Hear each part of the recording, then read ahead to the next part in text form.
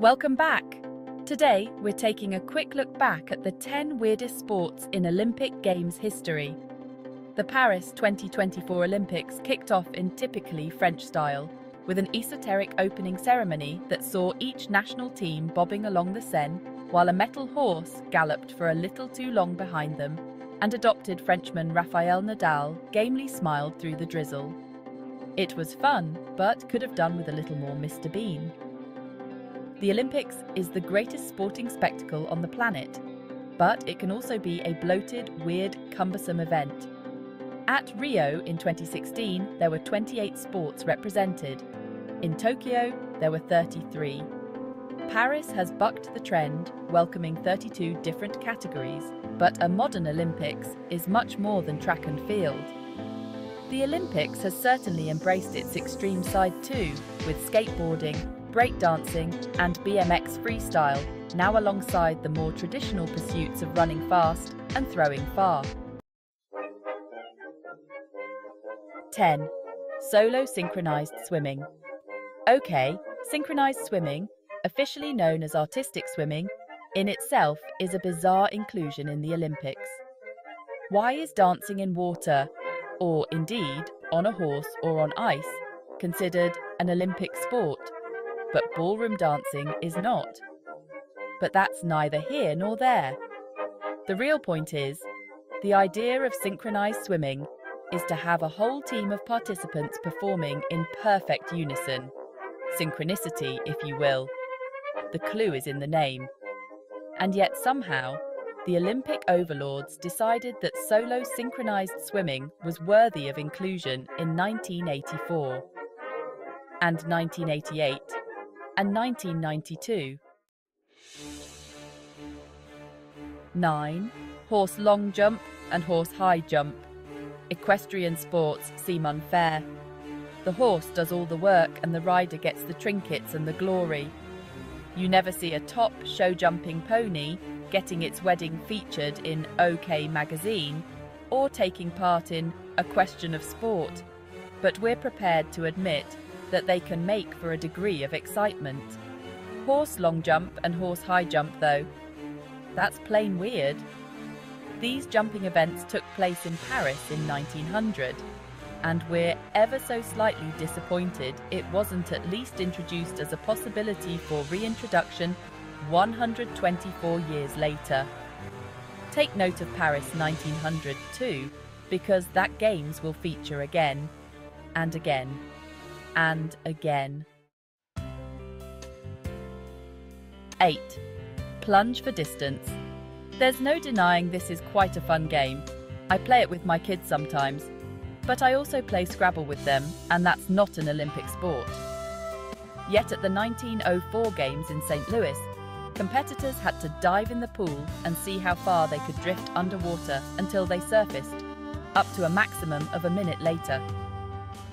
All five contestants were from America, and the event was won by William Dickey with a distance of 62.5 feet. You can only assume he became known as Drifting Dickey by the International Olympic Committee. 7. 3,000 metres steeplechase. Maybe this is a bit of sour grapes on my part. I'm a big athletics fan, and this is a sport that Britain has as much of a chance of medalling in as we do of winning the Eurovision Song Contest anytime soon. But with its hurdles and water jump, it's basically an assault course. Why not chuck in a section where they have to do egg and spoon or crawl under a net? 6. Live pigeon shooting. We're back at Paris 1900 again for possibly the most shameful event in Olympic history. The object of the sport, as you may have guessed, was to kill as many pigeons as possible Contestants were eliminated if they missed two in a row. The event was won by Belgium's Leon de Lunden, who managed to euthanize 21 pigeons on his way to avian slaughtering glory.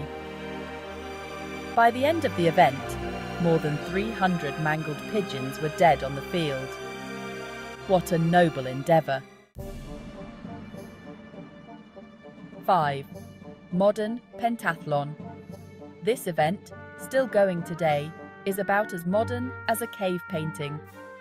It is based upon the military requirements for a good cavalryman, and we all know how useful a cavalry is in the modern age. Just ask the Light Brigade. Participants take part in swimming, fencing, show jumping, long distance running, and pistol shooting. It's also random. Why not chuck in table tennis and weightlifting?